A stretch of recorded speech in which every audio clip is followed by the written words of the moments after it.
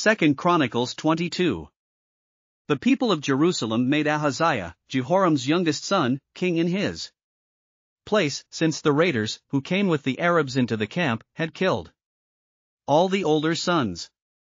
So Ahaziah son of Jehoram king of Judah began to reign. Ahaziah was 22 years old when he became king, and he reigned in Jerusalem one year. His mother's name was Athaliah, a granddaughter of Omri. He too followed the ways of the house of Ahab, for his mother encouraged him to act wickedly. He did evil in the eyes of the Lord, as the house of Ahab had done, for after his father's death they became his advisers to his undoing. He also followed their counsel when he went with Joram son of Ahab, king of Israel, to wage war against Hazael king of Aram at Ramoth Gilead. The Arameans wounded Joram.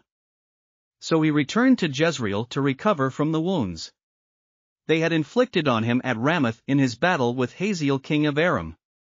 Then Ahaziah son of Jehoram king of Judah went down to Jezreel to see Joram, son of Ahab, because he had been wounded.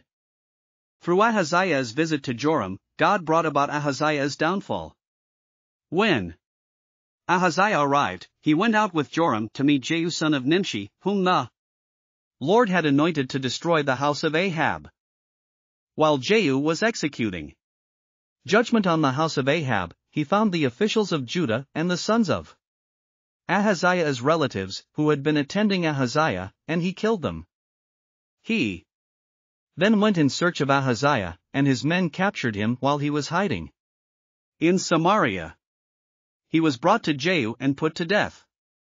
They buried him, for they said, He was a son of Jehoshaphat, who sought the Lord with all his heart.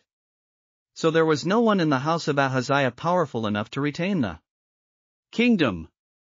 When Athaliah the mother of Ahaziah saw that her son was dead, she proceeded to destroy the whole royal family of the house of Judah. But Jehosheba, the daughter of King Jehoram, took Joash son of Ahaziah and stole him away from among the royal princes who were about to be murdered and put him and his nurse in a bedroom. Because Jehosheba, the daughter of King Jehoram and wife of the priest Jehoiada, was Ahaziah's sister, she hid the child from Athaliah so she could not kill him. He remained hidden with them at the temple of God for six years while Athaliah ruled the land.